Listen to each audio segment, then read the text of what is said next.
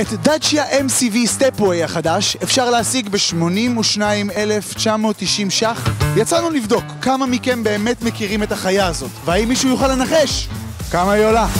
איזה רכב אתה חושב שזה? פז'ו. הונדה. נראה לי לנד רובר. ניסן. מזדה. הוא גרוע בניחושים. כמה הרכב הזה עולה? 160 אלף. 200 אלף, אם לא יותר. כמה? 200 אלף. אתה רוצה גם ענבים? ואם אני אגיד לך שהרכב הזה עולה סך הכל 82,990 ש"ח בלבד. חרטא, לא מאמין לך. בלי כסף. אתה בטוח? וואו. עדיין, נו. זה פחות מ private. איזה רכב זה? מוכנה? כן! דאצ'יה. דאצ'יה. דאצ'יה! לא הייתי מאמין, דסיה. אוטו נראה מאוד יוקרתי מבחוץ. כל הילדים מאחורה נוסעים. כמו שאתה רואה, זה לא תא מטען רגיל, זה תא מטען של משאית, מאובזר.